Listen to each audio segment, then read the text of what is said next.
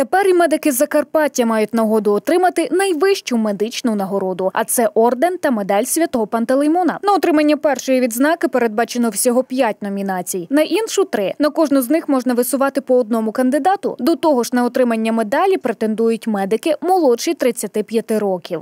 найкращий медичний працівник, новатор охорони здоров'я за досягнення в міжнародному співробітництві в охороні здоров'я і взірець служіння суспільству. Це номінації по ордену. По медалі лише три номінації: це за лікарське мистецтво, за турботу і ласку до хворого і за наукові розробки в медицині. Висувати своїх номінантів можуть державні та приватні медичні заклади, асоціації, громадські організації, а також навчальні заклади медичного спрямування. Критерії переважно для всіх однакові: професіоналізм та людяність. Між нами є тих самих пантелеймонів, які вміють робити добро, вміють, да, вони мають право на свою винагороду. І тут є ці критерії: духовність та порядність і гуманність і милосердя. Я думаю, якщо людина за це дістає нагороду, що від неї можна в майбутньому, які вимоги ставити?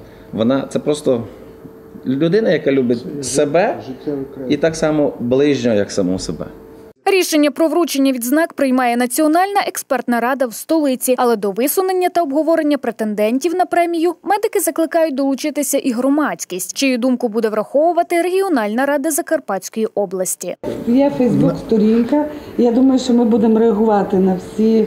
Е, Ну, на всіх людей, і потім будуть знову ж таки дивитися, які є вимоги, і будемо закликати, або ми вже візьмемося, ну, наприклад, як наш е, заклад медичний, е, висунути ту людину. Окрім власне ордену та медалі, переможці отримають і грошову винагороду 100 тисяч гривень. Урочисте нагородження відбудеться в Києві на день святого Пантелеймона, 9 серпня. Та водночас у цей день відбудеться відзначення кращих медиків і на регіональному рівні.